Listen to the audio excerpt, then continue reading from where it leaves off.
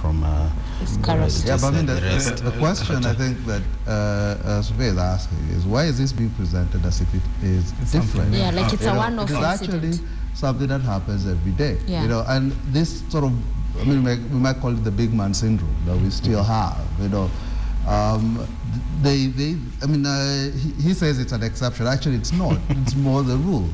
You know, um, the CIC has just pointed out a series of events. You know, a series of uh, uh, incidents where legislators, governors have behaved badly and nothing happens. You know, we encounter it every day on our roads.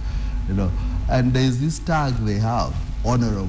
You know, that they think then makes Yeah. any conduct Yeah. honorable. You know, Honorable. which is ridiculous. Geoffrey, quickly on the same before we move on. I'll, I'll, I'll, I agree with you. Yeah. I'll agree with him. Yes. It happens every single day. Uh, not just members of parliament, even ordinary Kenyans. You, once you've been caught in trouble, you want to drop names. You want to call so and so. You want to tell those police, you know, I know so and so. Let me call so and so. Isn't it? That's a form of intimidation. But I'll say this. Uh, probably this cartel thing uh, um, uh, was one of its kind because it was caught on camera.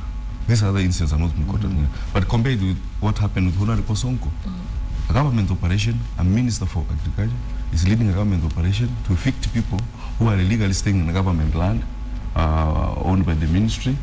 Then the, uh, the, the, the senator goes, calls the president, puts the president on speakerphone, and then the operation is stopped. So what has the uh, senator done? He has literally intimidated the minister who was leading a government operation.